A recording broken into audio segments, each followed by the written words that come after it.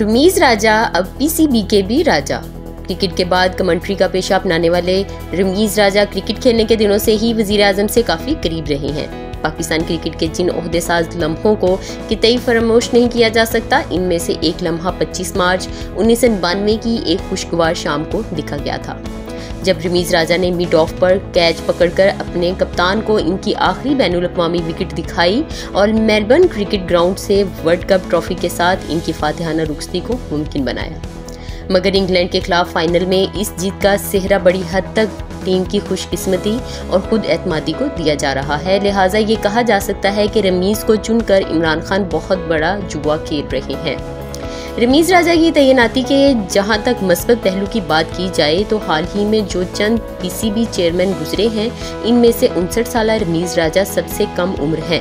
लिहाजा अपने पेश रॉ की जानब से असर खड़े किए गए डोमेस्टिक क्रिकेट के ढांचे को आगे लेकर जाने में वो अपनी तोानाई का भरपूर इस्तेमाल कर सकते हैं।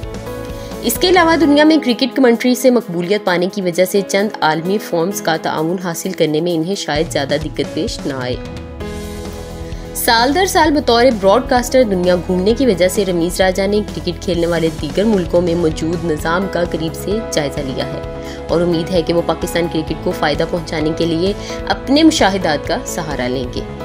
ताहम रमीज़ राजा ये दावा तो करते हैं कि वो पाकिस्तान क्रिकेट के मजमू ढांचे को बेहतर बनाने का मनसूबा रखते हैं, लेकिन ये कहना आसान और करना बहुत मुश्किल है। बिलखसूस ऐसे शख्स के लिए जो आला इंतज़ामी या मैनेजमेंट के अहदे का ज़्यादा तजुर्बा ना रखता हो।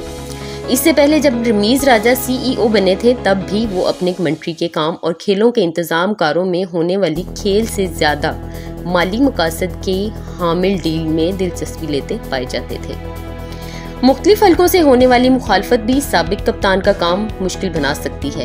इन मुखालफी में से एक इमरान खान के सबक बॉलिंग पार्टनर सरफराज नवाज़ हैं, जो इनकी नामजदगी की तस्दीक से एक हफ़्ता पहले ही रमीज राजा की साख खराब करने की कोशिश कर चुके हैं। सरफराज नवाज़ और रमीज राजा के दरमियान दुश्मनी बहुत पुरानी है। सरफराज नवाज़ ने इमरान खान को एहसान मानी की जगह माजिद खान या जहीर अब्बास को लाने का मशवरा दिया था।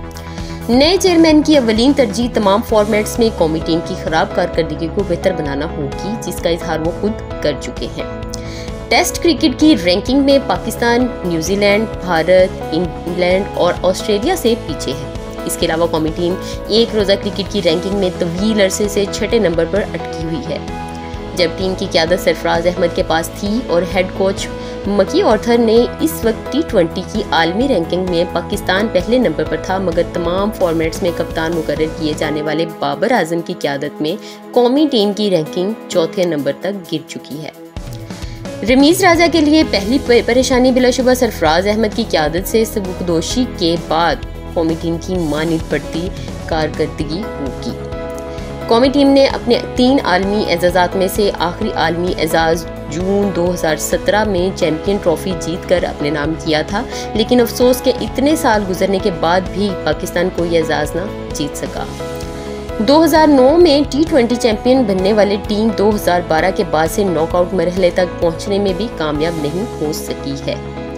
टी ट्वेंटी वर्ल्ड कप में छह हफ़्ते रह गए हैं। रमीज राजा ने वाजिया और वाशगाफ अंदाज में टीम पर अदम एतमाद का इजहार कर दिया है। इनका मानना है कि चूँकि मौजूदा टी ट्वेंटी टीम के चंद खिलाड़ियों को ये मालूम ही नहीं कि फैसला कन या फंसे हुए मैचों को कैसे जीता जाता है।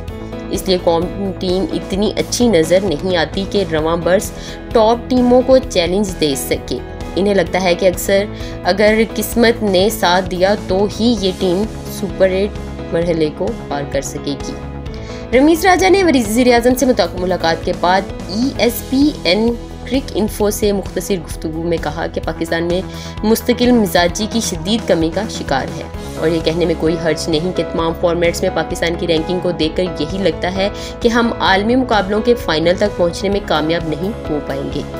कौमी टीम ज़्यादा से ज़्यादा सेमीफाइनल के मरहले तक ही पहुँच सकती है, जबकि एक रोज़ा और टेस्ट फॉर्मेट का जहाँ तक ताल्लुक है तो कौमी टीम का गोल स्टेज अबूर करना भी मुश्किल नज़र आता है। मेरे चैनल पर नए हैं तो आपने मेरे चैनल को करना है सब्सक्राइब, लाइक और बेल आइकन के बटन को प्रेस करना नहीं भूलना, क्योंकि बेल आइकन के बटन को प्रेस करने से आपको मेरी हर नई आने वाली इन्फॉर्मेटिव वीडियोस का नोटिफिकेशन मिलता रहेगा।